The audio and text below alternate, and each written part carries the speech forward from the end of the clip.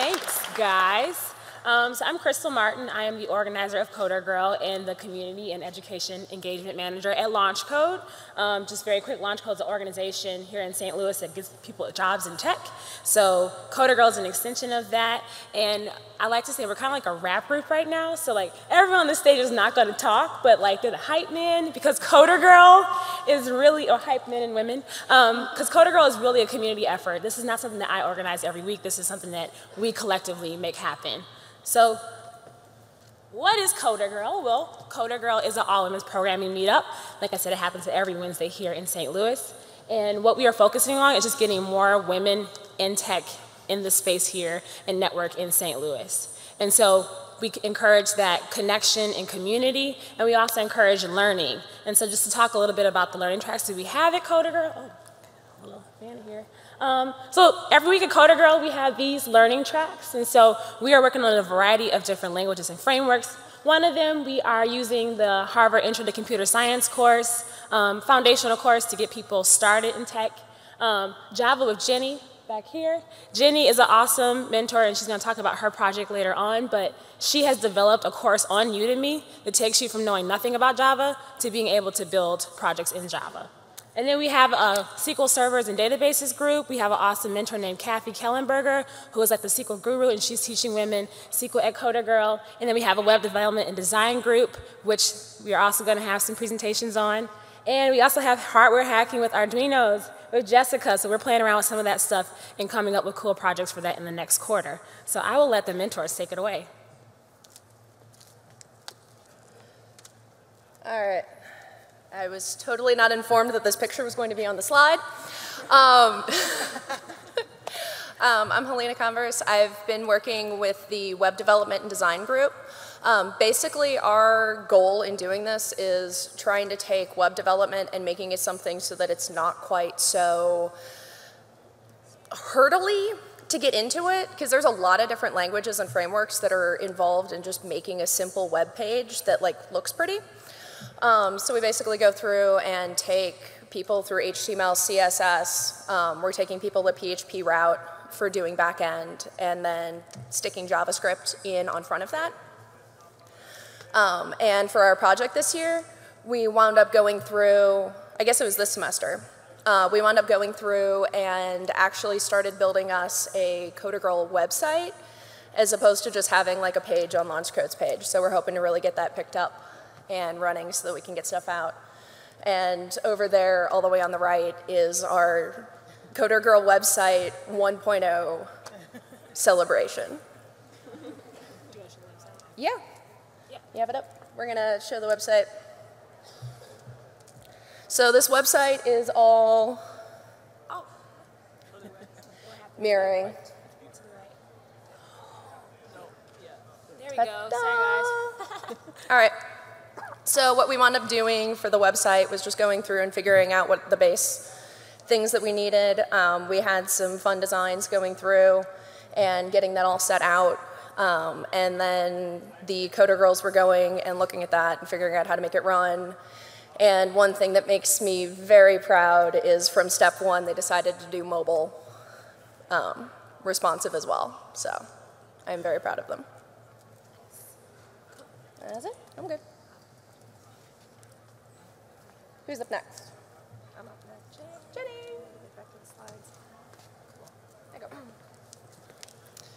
So I am introducing people to Java development, uh, as there's quite a quite an offering for jobs in that area and quite a need for developers. One of the things I noticed was that classes tend to have a gap. So they introduce you to programming, they introduce you to object-oriented design, and then there's this big technology gap before you're ready for a job. You need to pick up databases, you need to pick up web development, you need to pick up full stack. And so along with that comes all of the teamwork. You need Git, you need revision control, you need to know how to work with the ticketing system and how to plan and scope your work and do it iteratively.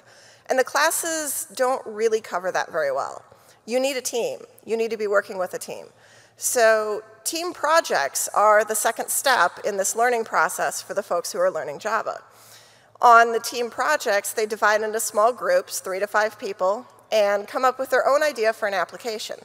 And then based on their interests, they spec out what it's going to include. I help them keep it to a small version to begin with so we can do it iteratively. And then from there, we figure out what technologies do you need to do this? What do you need to go learn to get comfortable with those technologies? And how are we going to break this down for a group to be able to work on together? So I've got two groups right now who are working on team projects. One of them is doing a roommate finance tracker and the other is doing a recipe program. And they're encountering a lot of interesting details along the way that result in people pairing, result in people researching stuff and bringing it back and presenting it to teammates. And these are all skills that are doing a great job of getting them ready for their, for their jobs. And in fact, out of eight people currently working on team projects, I believe three of them have been placed in jobs, and one is very close to doing so. So we've got a pretty good success rate going here. Uh, so the team environment really does a lot to help them keep moving along. After you're past the basic academics of what is programming and what do I do with it, there's how do I serve my teammates and how do we build something awesome together. And so supporting this team project process has really given them encouragement to look beyond what they've encountered, to reach out to the hard stuff and learn cool new stuff and be ready to go on the job. So that's been my focus with the Java team projects.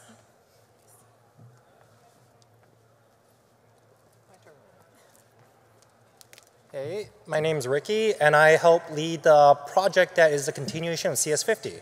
For those of you who don't know, CS50 is the Harvard's Introduction to Computer Science class. It is taught in C, and that provides, you know, a bit of limitation on what we can do afterwards.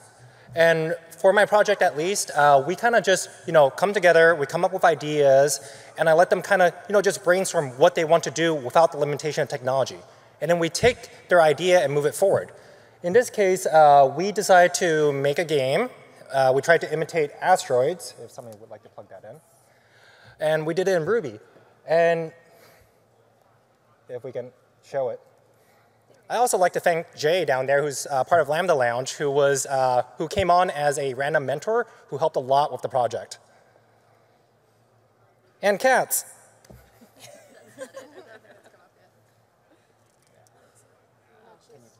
Do it for me? Yeah. Oh, this is probably not going to work because the resolution is hard-coded because we never got that far. But surprise, it's asteroids.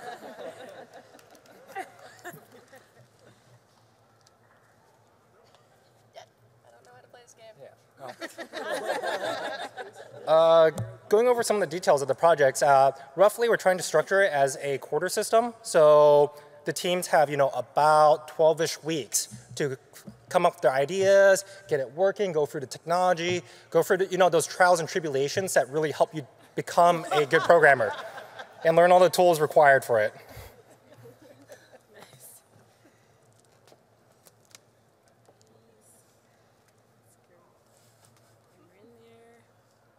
Cool. Wow.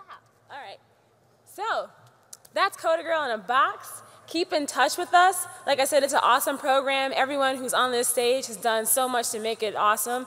And we have so much fun every week. There are 35 to 40 coder girls who show up every week. We have 15 to 20 mentors who show up who are professional programmers here at companies here in St. Louis. And so it's a lot of fun. If you're in the area, come and join us. We'll be at the CIC, which is on 4240 Duncan in the Cortex area every Wednesday, 6 to 8. And you can get involved anyway if you want to come as a mentor, if you want to come just as a participant, hang out, be a photographer. Um, if you're not in the St. Louis area and you like what we do, promote us, make other people excited about this. And so we are on the Slack channel. You can talk about it. Um, we can hang out here at Strange Loop. Um, that's our website on the LaunchCode website. Um, Coder Girl One will be up very soon. Um, if you have any questions, you want to reach out, that's the email address, and we're on Facebook, Twitter, and Meetup.com. Thanks so much for your attention.